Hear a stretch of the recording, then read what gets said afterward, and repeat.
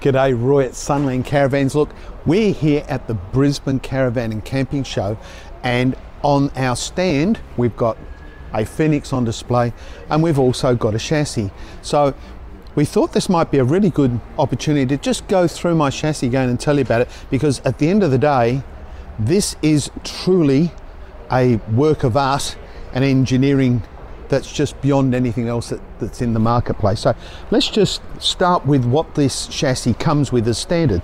So the chassis itself has got the DO35 hitch on the front here and these plates can be in various different locations depending upon the tow hitch of the particular vehicles. But normally this would be, its center point is nice and low here. It's about 560 off the ground to the center pin and that works nicely for most four-wheel drives like um, Land Cruisers, etc.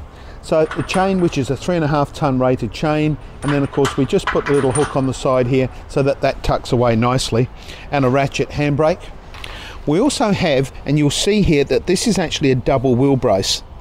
So the double uh, wheel clamp rather, so the double clamping holds in two spots. So there's only the one handle. See some of them that do two separate ones with two handles, a bit messy, don't like it. A-frame which is actually made of steel. Now this is a hot dip galvanized steel A-frame.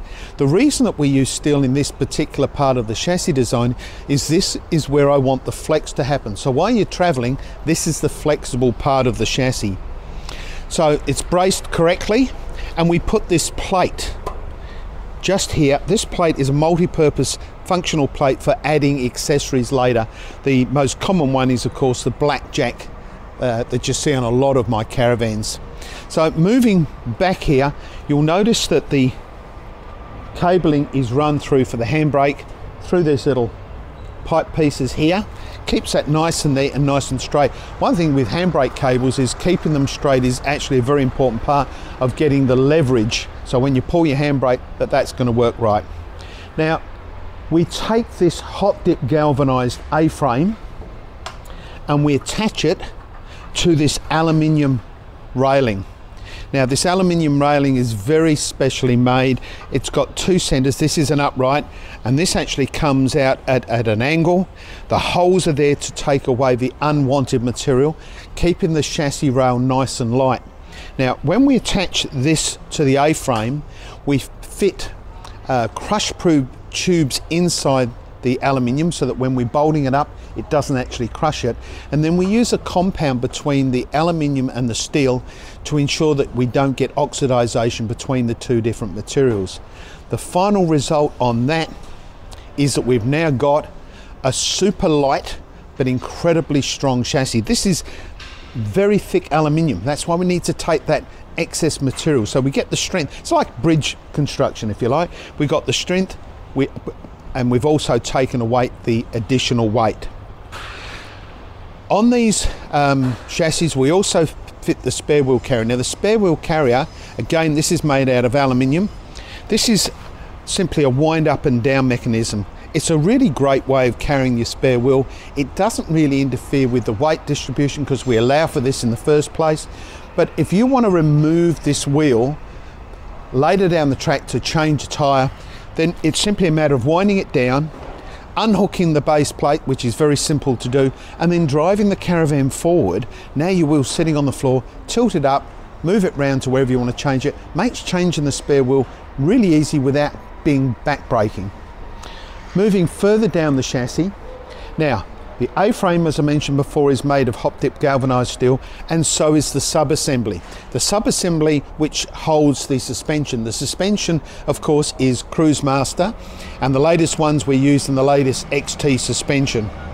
Now, that sub-assembly has been made to house the steel suspension components Again, hot dip galvanized. It's been made specifically um, to house these water tanks which we've had made specially for it. Now these water tanks contain a 190 litre and a 60 litre. The 60 litre is for, general, uh, for drinking water, so it's completely isolated from the 190, has its own, totally its own plumbing. The 190 is a general purpose tank. Now, having the water where we've got it, this has no impact whatsoever on the ball and having no, uh, no bearing on the ball weight, this van will always tow exactly the same, whether the tanks are full or empty, and that is a big deal, let me tell you. So, moving on, as we come down, we've also designed for this chassis a grey water tank. Now, the grey water tank is designed again in, for, for specific purpose. It goes across so we can get it nice and thin, and it tilts so the water will always come down to the low point. and then we've got flush points at the end of the tank. So if you want to get rid of any gunk out of this tank at a later date, you just hook your hose up and you can flush that tank away. Um, look, it is designed specifically for that purpose. It's designed to go where you can see it on this chassis now. This is actually a really good layout. This layout will always tow particularly well as long as what we fit on top is designed to fit the chassis, which of course in our case, it always is. So a couple more features on the chassis. We've got these aluminium outriggers on the outside. And with those aluminium outriggers, they are little special components. One is this particular one here, which is designed for the legs. Now you'll notice that the leg is swung forward. I constantly hear of people swinging the legs backwards and not forwards. And the reason they do that is they're told by people if the leg drops down, then it can flip your caravan. Now that is complete and utter nonsense. Um, if this leg was to fall down while in transit, um, not that it can because the latch would stop it from doing it. Let's just imagine it did happen. You're going to lose your leg. That's it, full stop. That'd be a worst case scenario. But by moving it forward like this, there's less chance of you damaging the leg than there is swing it back, where we actually have um, your departure angle which we want to keep nice and high. So when we build the caravan, we put that bit of a slope at the back here to improve your departure angle. The last thing you want to do is destroy it by running the leg backwards. You'll notice also that we run the wiring through the channel. Now, this one hasn't yet had it fitted, but so we've actually just used some zip ties to put it in place for the show. But normally there would be tags all along this, and this um, wiring loom sits on top of those tags.